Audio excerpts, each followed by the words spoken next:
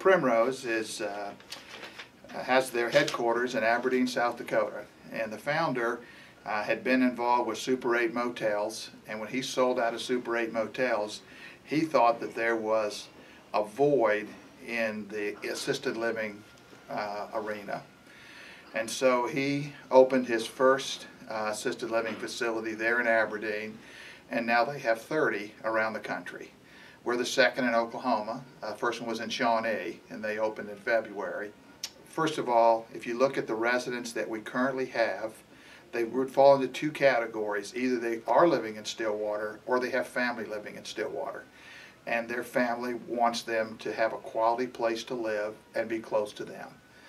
And uh, so that, that to me is the primary reason it's going to attract them. Or it's people that went to Oklahoma State, always wanted to come back to Stillwater. It's a great community. What a wonderful place to be. And this gives them a housing option to come back. So I think that's what's going to attract them back here. Our, our goals here are to provide a safe and secure environment that has a service-oriented attitude. We recognize that this is people's homes, and we want to treat them as if this is their homes.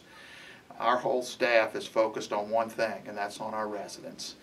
We feel like we work for our residents, and uh, we want them to have a great experience. We are not a buy-in community. Some some assisted living communities you you actually buy in with a fairly large amount of money up front.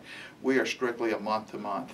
So if our residents aren't happy here, they can leave. And I don't want them to leave. I want them to be very I want them to want to stay here.